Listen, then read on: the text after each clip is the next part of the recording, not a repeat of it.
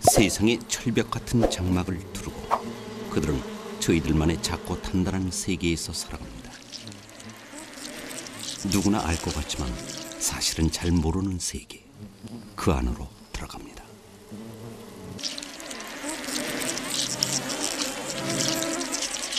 이곳을 지배하는 건 기울과 질서. 어울리고 모여 사는 역사는 사람보다 오래됐죠. 인간은 오랫동안 이들을 담고 싶어 했습니다. 하늘과 땅에 같으면서도 서로 다른 질서. 말벌의 존재는 우리의 눈을 하늘로 향하게 합니다.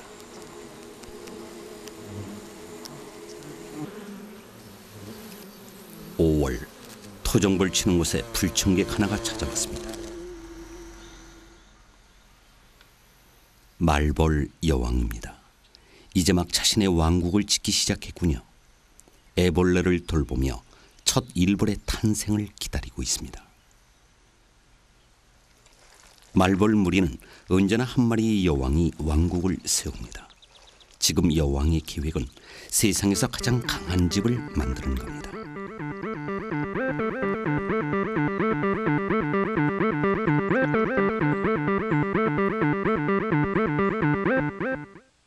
바깥 세상과 차단된 안전한 공간.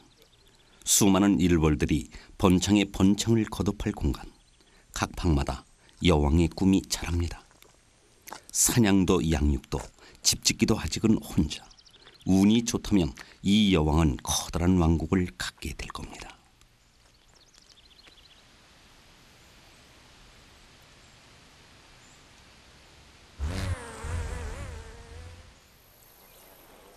겨울잠에서 깨어난 여왕 벌들이 모두 집짓기에 나서는데 벌써 이만한 집도 있습니다.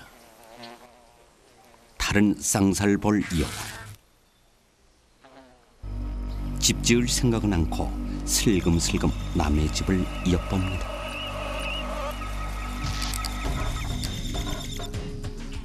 여왕 대 여왕 대본에 싸움이 붙습니다. 다리 걸고 엉기고 적을 상대하는 건 여왕 혼자 이기는 쪽이 집을 차지합니다.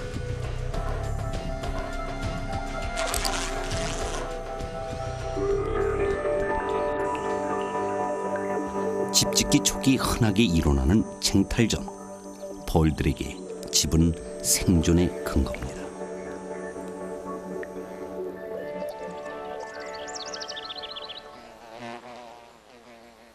벌약으로 춘추 전국의 시대 때론 흥하고 때론 허무하게 쓰러지고 하지만 절망보다 기대가 많을 때입니다. 왕국을 세우는 건 언제나 한 마리의 여왕 그 시작은 이렇게 초라합니다.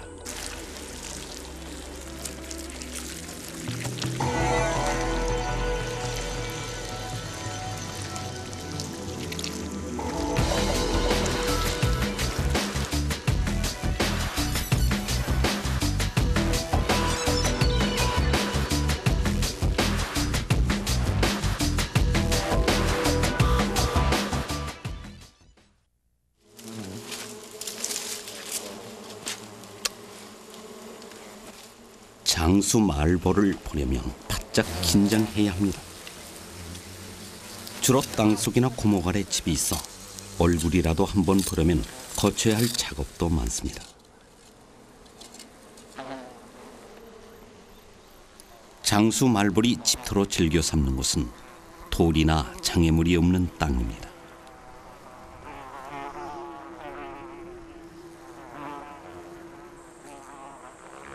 일벌들이 작업 중입니다. 벌 중에 가장 커서 이름도 장수. 어른 엄지 손가락만 합니다. 흙덩이를 물어 나르는 걸 보니 괜히 붙은 이름이 아닌가 봅니다. 긁어서 파낸 흙은 경단처럼 동그랗게 말아 운반합니다. 수분을 섞어 축축하게 만드는 것이죠. 집 앞으로 차곡차곡 흑경단이 울타리처럼 쌓여갑니다.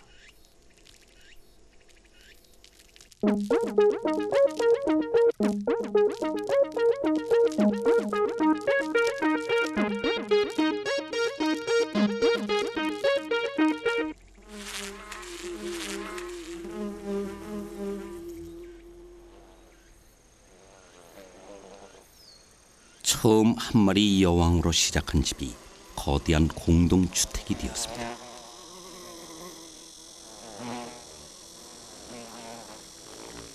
사회성이 잘 발달한 이 왕국은 분업이 잘 돼 있는 공장처럼 움직입니다. 한쪽에선 계속 방을 만듭니다.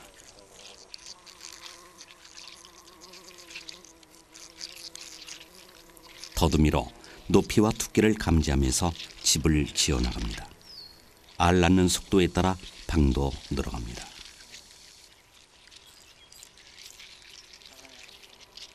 설계 도면이 있는 것도 아닌데 크기도 규모도 한결같은 방들.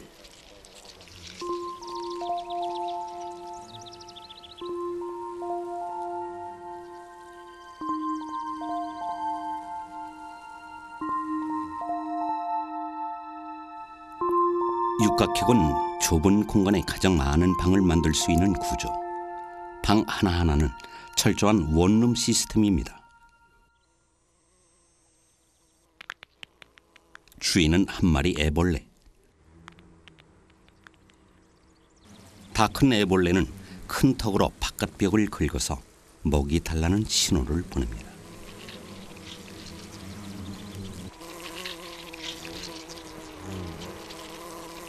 일벌들은 날 때부터 건축가이자 유능한 베이비시터입니다. 이렇게 많은 식구가 한 집에 사는데 싸우지도 않습니다. 서로의 존재가 없다면 살기 어렵다는 걸 알기 때문입니다. 그 평범한 진리가 이만한 왕국을 키워냅니다.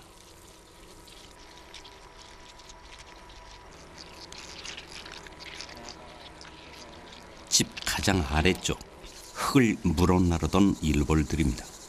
집이 커질수록 할 일이 많아지죠. 가사 담당 일벌보다는 나이든 일꾼입니다.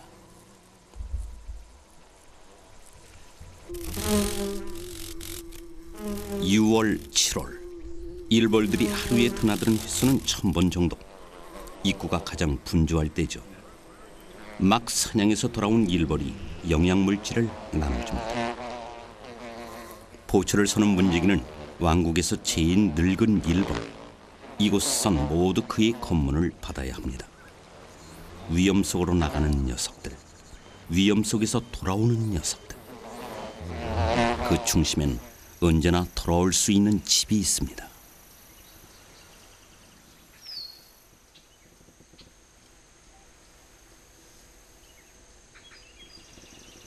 참나무 한 그루는 많은 생명들을 부르는 넓은 숲입니다. 장수 말벌들이 자주 찾아오는 곳. 나무가 만들어내는 시큼한 액 때문이죠. 먹이가 풍부한 이곳은 곤충들의 국제도시. 많은 성충들이 이곳에 알을 낳습니다.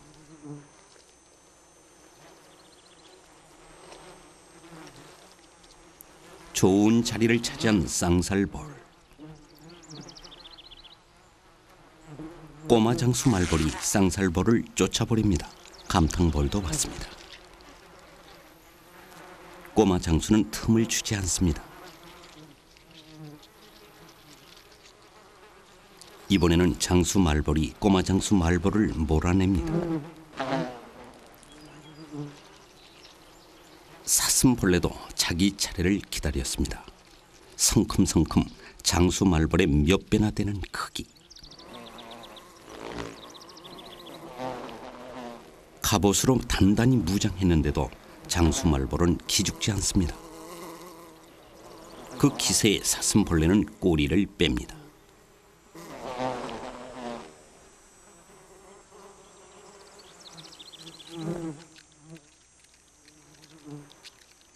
참 나무엔 서열이 정해져 있습니다. 장수의 일벌들은 사냥 시간의 반을 수액이나 꽃꿀 먹는 데 보냅니다. 이곳은 결코 뺏기고 싶지 않은 먹이 창고죠.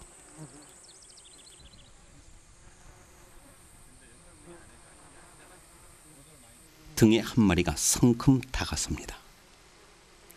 서열이 몇 번째인지 참 대담한 녀석이죠. 눈 깜짝할 새 등에는 애벌레에게 가져다 줄 먹잇감이 돼버렸습니다.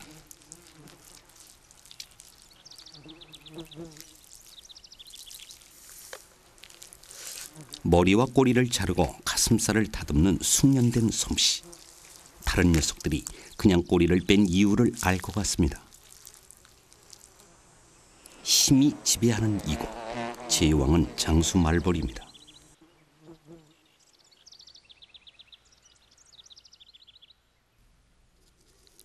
장수 말벌이 걸렸습니다. 그런데 이미 잡혀있던 먹이의 체액을 빨아먹고 있습니다.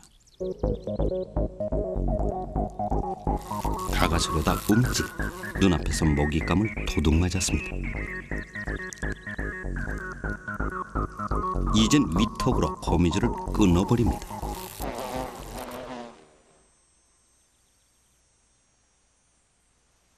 곤충들의 지옥 거미줄도 장수 말벌에겐 통하지 않습니다. 아 눈에다 손을 썼어. 아. 아.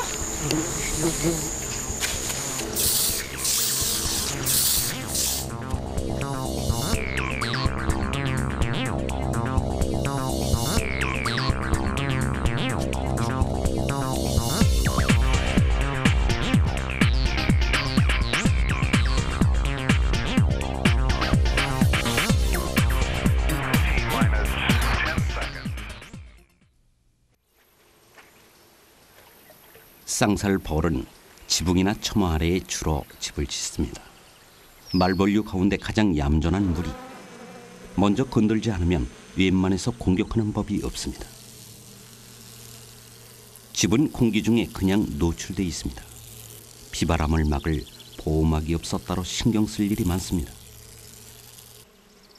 방수, 방함. 물 새는 것도 막고 바람도 막고 그러려면 지붕이 튼튼해야겠죠. 허공에 매달린 게 좀 아슬아슬해 보입니다. 집 재료는 마른 낙엽이나 썩은 나뭇가지에서 나오는 섬유질.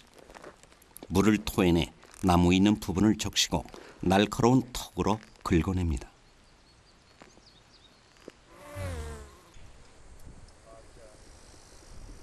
비는 최소한 피할 수 있도록 단단한 바위 아래 오목한 곳. 점점 늘어가는 식구들. 그들의 안전을 생각하면 지붕 공사는 소홀히 할 수 없습니다.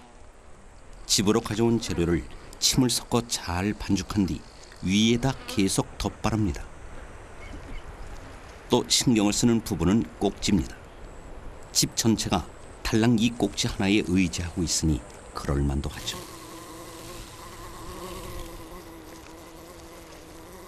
여왕은 이 안전한 지붕 아래에 알을 낳습니다. 꼬리를 깊숙이 집어넣고 한 방에 하나씩 그렇게 왕국을 늘려갑니다.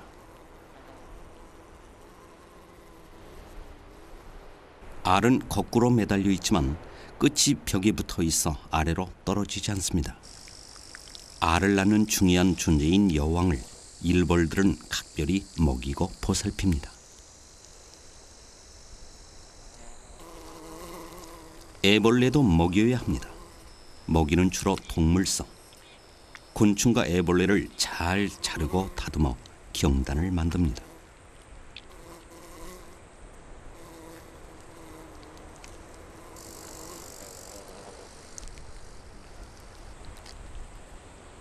애벌레가 이 큰 경단을 삼킬 수 있는 건 어른들처럼 잘록한 허리가 아직 없기 때문이죠.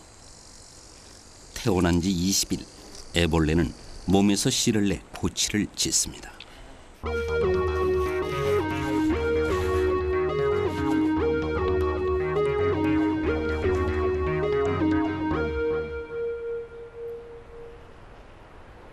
더위와의 싸움도 큰일입니다. 내부 온도를 낮추기 위해 방마다 물을 떠다 놓습니다.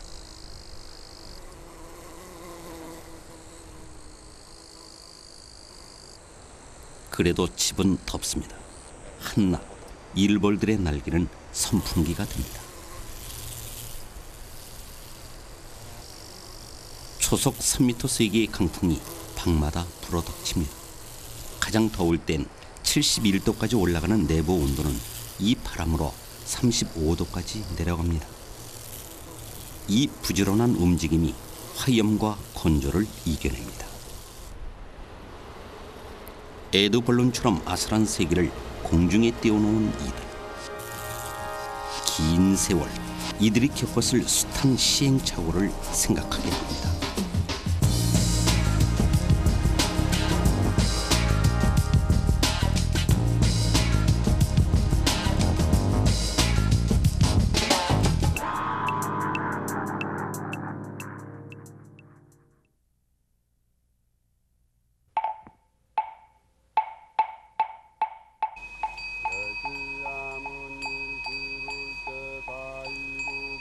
사람 찾아오는 일도 드문 한적한 절간.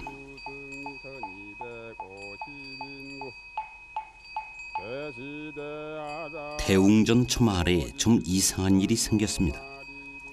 쌍살벌 집에 웬 침입자가 애벌레로 배를 채우고 있습니다. 자세히 보니 꼬마 장수 말벌입니다. 집은 너덜너덜 황폐해졌습니다. 집주인 쌍살벌은 겁에 질린 것 같습니다. 배를 채우고 떠나버리는 꼬마 장수. 보기만 하는 쌍살벌. 도대체 무슨 일이 있었던 걸까요? 10분 전. 처음엔 쌍살벌들의 저항이 아주 거셌죠.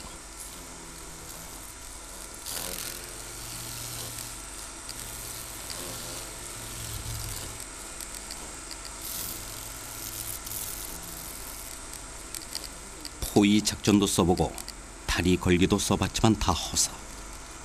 수많은 일벌들이 이 침입자 하나를 막아내지 못했습니다.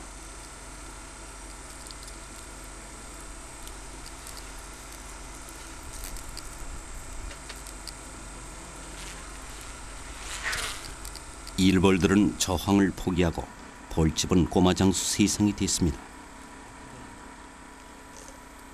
꼬마 장수가 노린 건 쌍살벌의 애벌레. 녀석은 쌍살벌집 전문 털입니다. 날마다 찾아와 이렇게 애벌레를 먹습니다. 쌍살벌에겐 공포의 대상이죠.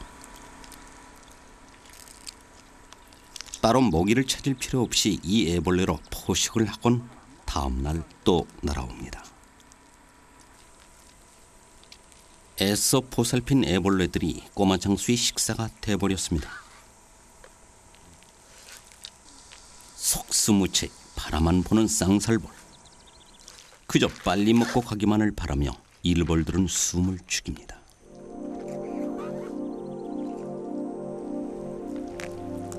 날마다 조금씩 당해도 집은 포기하지 않습니다.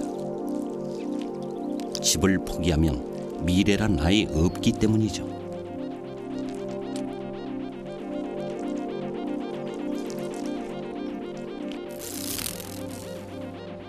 이제 뒷일을 수습해야 합니다. 집에는 아직 지킬 가치가 남아 있습니다.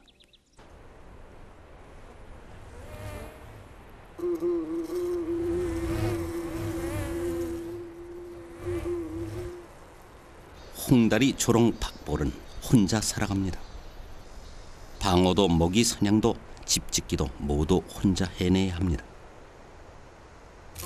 번식철이면 알라울 구멍을 팝니다. 큰 턱을 이어 비스듬하게 10cm 이상 파내려 갑니다. 구멍은 널찍합니다. 애벌레 먹잇감도 함께 넣어야 하기 때문입니다. 5분 정도면 작업 끝. 성능 좋은 굴착기죠. 이제 재물 사냥입니다.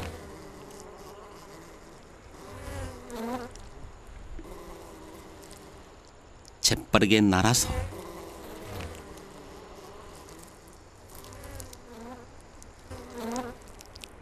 엉긴 사이에 침 한 방, 배짱이 움직임이 둔해집니다. 계속해서 침을 쏩니다. 침에는 신경마비제가 들어있죠. 생명은 붙어있대 완전히 의식을 잃을 때까지 한동안 씨름합니다. 가슴을 정확히 조준해서 또 한 방. 커다란 덩치가 맥없이 쓰러집니다. 이제 운반할 차례. 날 수 있다는 것은 이럴 때 큰 도움이 됩니다.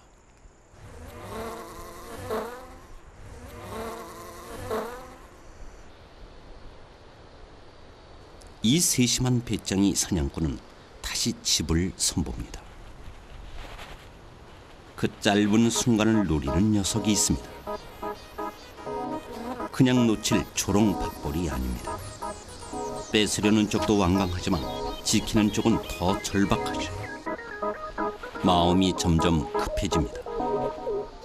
이쯤 되면 꼭 나타나는 녀석이 있습니다. 시팔입니다. 홍다리 조롱 박벌의 작업을 지켜보며 기회를 노립니다. 때는 지금. 그 짧은 순간을 노리며 시파리들이 주변에 쫙 깔렸습니다. 재물을 막 구멍 속으로 끌고 들어갈 때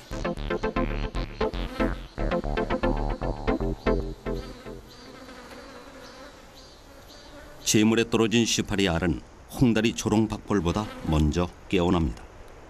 나중에 조롱박벌 애벌레가 먹을 몫은 없다는 얘기죠. 이 사실을 눈치채지 못한 어미는 괜한 헛수고를 하는 셈입니다.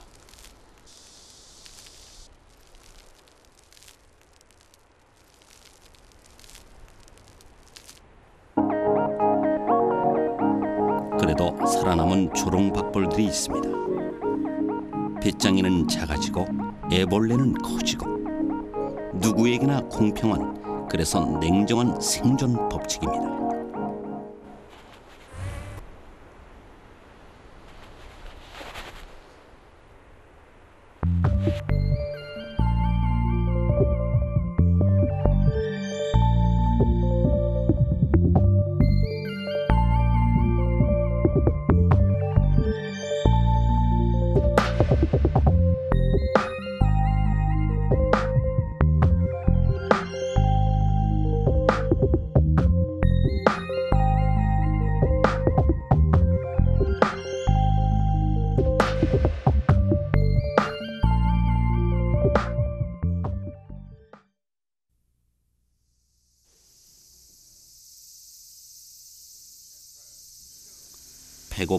고픈 오소리 한 마리 사냥에 나섰습니다.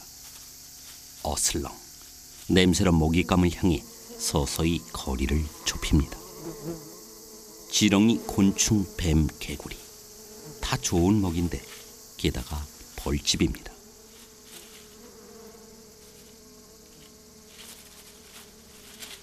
먹잇감을 포착하고 단박에 돌진.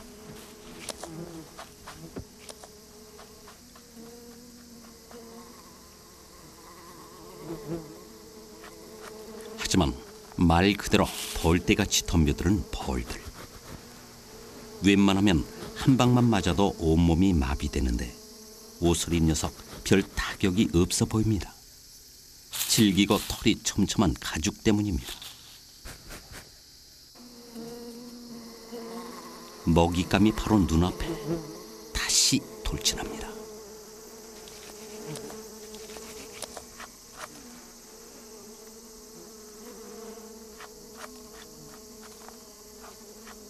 또 벌집을 쑤셔놨습니다.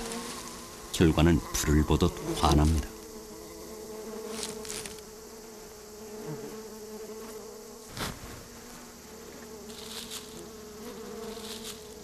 이번엔 좀 타격을 받은 것 같죠?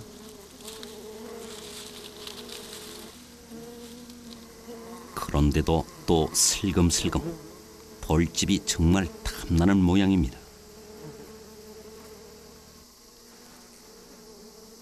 벌들 기세도 한풀 꺾인 듯 번쩍 왕국 하나가 탈락 녀석이 입에 물렸습니다. 봄부터 품어온 여왕의 꿈이 산산조각 났습니다. 한여름 일벌들의 수고도 허사가 됐습니다.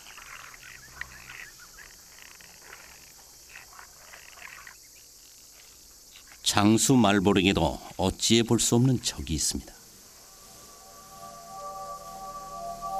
오소리 한 마리가 지나간 자리 한 세계가 가볍게 깨지고 말았습니다.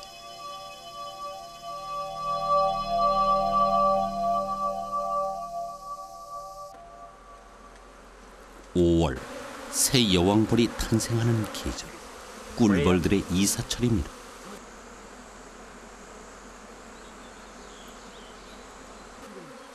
집을 나온 꿀벌들은 우선 앉아있기 좋은 곳에 모입니다. 이 성질을 이용해 토종벌 농사를 짓습니다. 농부는 이 벌들을 조심스럽게 벌통으로 옮겨야 합니다.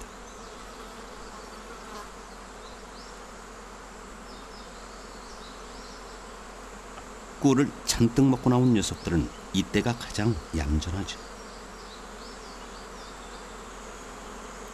여왕이 품어내는 페로몬에 끌린 일벌들은 흩어지지 않습니다. 조심스러운 손길. 여왕 하나만 벌통에 가두면 나머지는 자연스레 따라갑니다. 순하다 해도 침이 있는 벌. 농부에겐 진땀나는 시간입니다. 여왕을 중심으로 고도로 발달된 사회.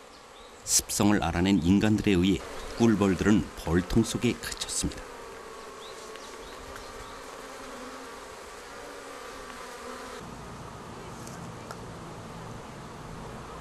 사람에게 꿀을 제공한 이래로 꿀벌은 전성기를 누리고 있습니다. 인간의 보호 아래 안전하게 번식을 하기 때문이죠. 하지만 적도 많습니다. 둬. 한낮 양봉치는 농가에선 끊임없이 바닥치는 소리가 들립니다. 장수 말벌을 때려잡는 소리입니다. 양봉집의 장수 말벌은 참 악명높습니다. 벼농사의 해충 같은 존재라고나 할까요? 같은 벌이라도 꿀벌과는 대접이 다릅니다. 때려잡기부터 끈끈이까지 인간과 같은 이익을 두고 다퉈야 하니 장수 말벌도 참 만만찮은 천적을 둔 셈입니다. 그렇다고 이만한 먹이를 포기할 수는 없습니다. 양어장에서 고기 낚는 것처럼 쉬운 꿀벌 사냥. 장수말벌 한 마리로도 양봉집 하나가 거들이 나버립니다. 그가 이 먹이틀을 찾아오는 데는 이유가 있습니다. 사냥 일벌 한 마리가 먹여 살리는 애벌레는 보통 10여 마리. 사냥감을 찾으러 다니다간 그 먹이를 다 댈 수가 없습니다.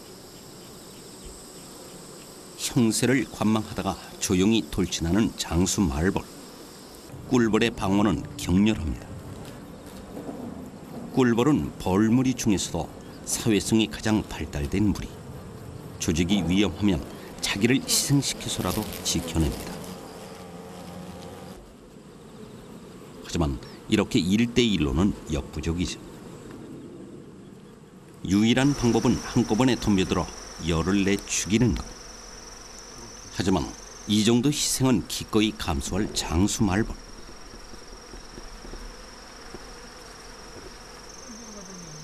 내일이면 또다시 주변을 윙윙. 꿀벌과 농부들의 간담은 서늘해지겠죠.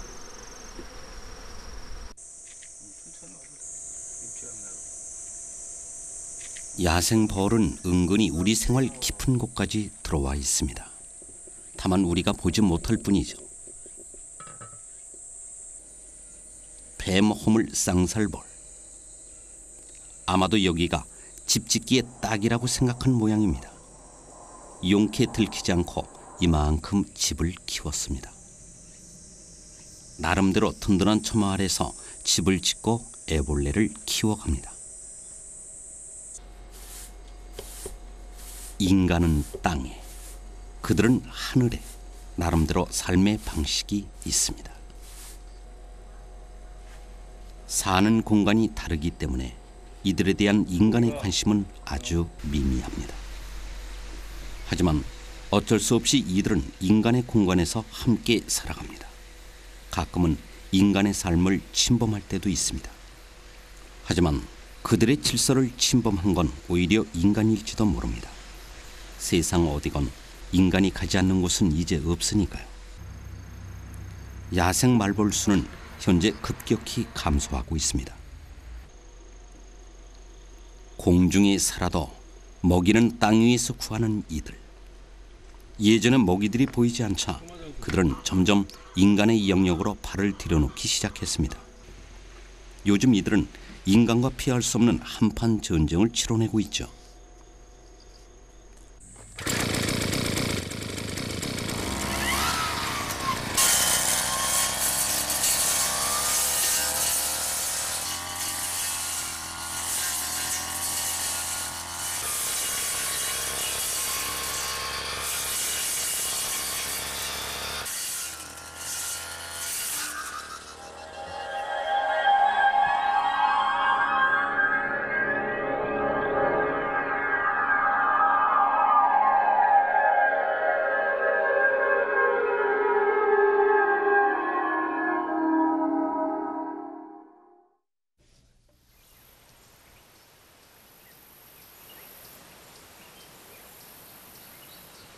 폐교의 허름한 건물.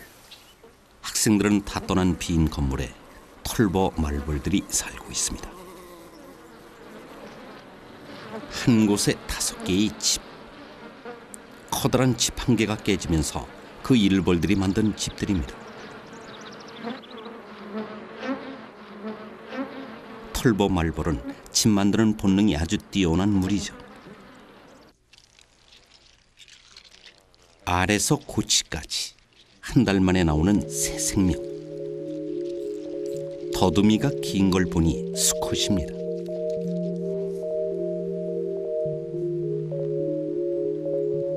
한 여왕에게서는 계절마다 다른 벌들이 태어납니다. 봄에 태어난 벌들은 일벌, 늦여름에 태어난 이 벌은 수펄, 그리고 마지막으로 여왕벌 후보. 짝짓기 철이 가까워졌다는 얘기입니다. 장수 말벌 한 마리가 날아들었습니다. 싱거운 쌍살벌의 저항.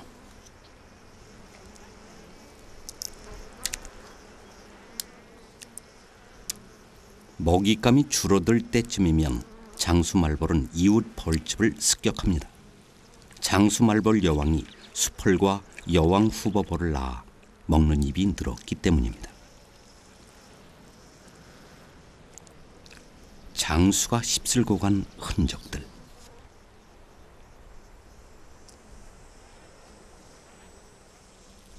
우물가 쌍살 벌집은 다음 대를 이어갈 여왕벌을 만들지 못하고 그만 끝이 났습니다.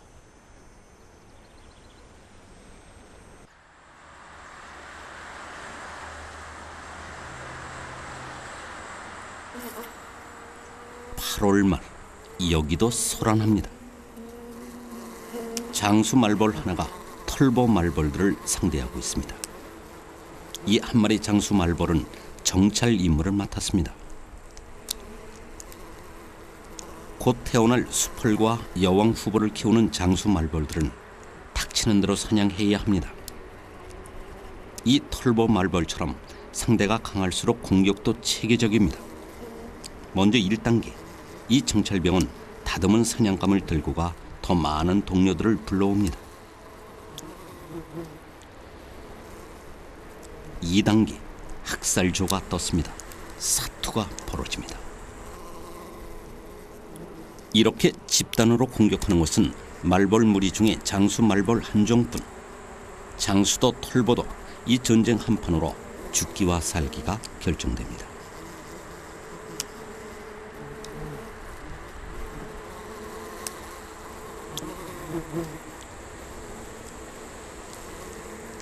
일벌들은 차례로 하나씩 장수 앞에 섭니다. 그야말로 추풍 낙엽이군. 이제 털보 말벌들은 전면전에 나섰습니다. 이번 전투의 패배는 다음 세대의 전멸을 뜻합니다.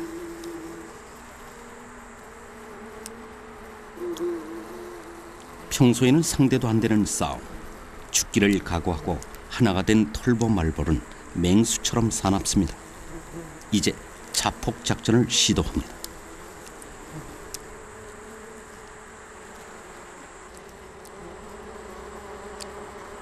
생존이 걸렸을 땐 약자도 강해집니다. 장수 말벌의 학살조에 맞서 털보 말벌은 똘똘 뭉칩니다. 하지만 한 시간 만에 털보 말벌은 전멸했습니다. 문서고에도 그들이 나타났습니다. 털보 말벌들은 이미 경계 태세에 들어갔습니다.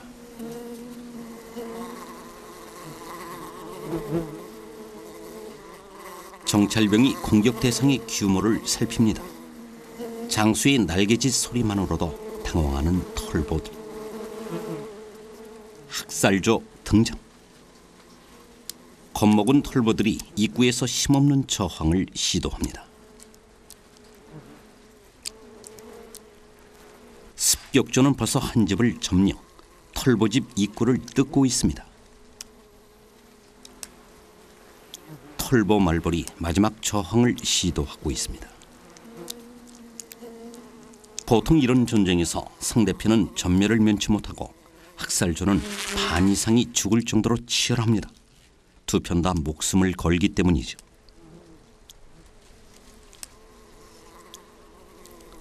습격조가 완전히 말벌집을 점령했습니다. 털보 말벌들이 그토록 지키려 애썼던 것들 이제는 점령자의 사냥터가 돼버렸습니다.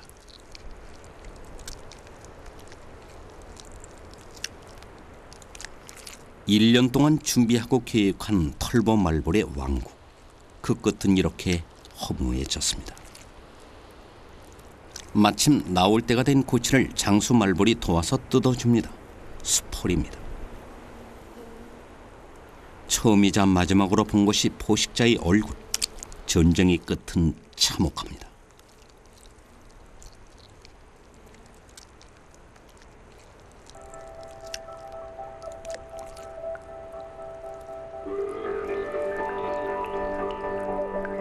먹이를 다듬는 사냥 일벌. 그의 집에서도 먹이를 기다리는 여왕 후보와 수폴의 애벌레들이 있습니다.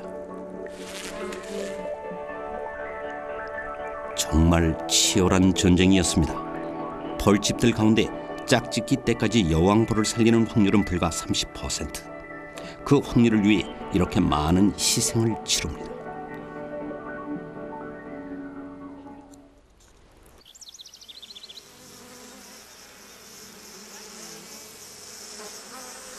용케 장수 말벌의 공격을 피한 벌집.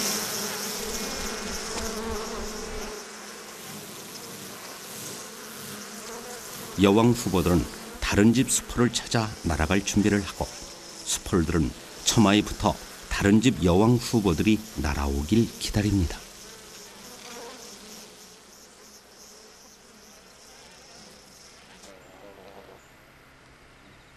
짝짓기는 집 근처 한적하고 조용한 곳에서 치러집니다. 다른 집에서 날아온 여왕 후보들과 수폴들이 다음 세대를 준비하고 있습니다. 긴 더듬이, 세목골의 얼굴. 수많은 일벌들이 이 수포를 키워냈습니다. 수폴은 그 수많은 일벌들에게 자신의 유전자를 전해줍니다. 집짓기, 사냥, 육아, 전쟁. 그 모든 것이 오늘 이 한 번의 짝짓기를 위해 있었는지도 모릅니다. 끊임없는 시도, 치열한 경쟁, 공중의 삶도 땅과 다르지 않습니다.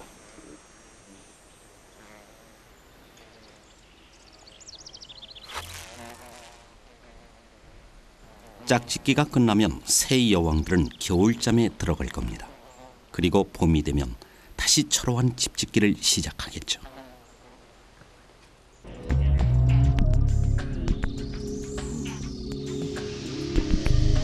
중생대 이후 수억 년을 지속해온 말벌의 역사는 다음 해에도 계속 쓰여질 겁니다.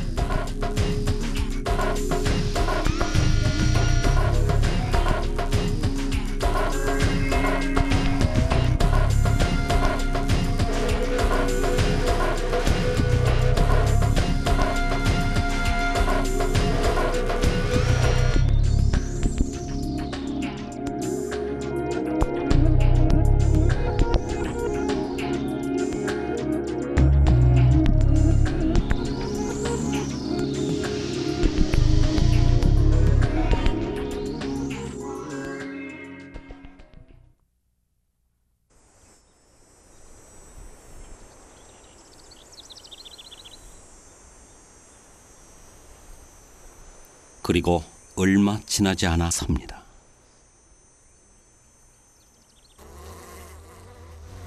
대개는 죽고 살아남은 여왕들은 겨울잠에 들어갈 무렵 다 떠난 쌍살벌 집에 장수 말벌이 찾아왔습니다.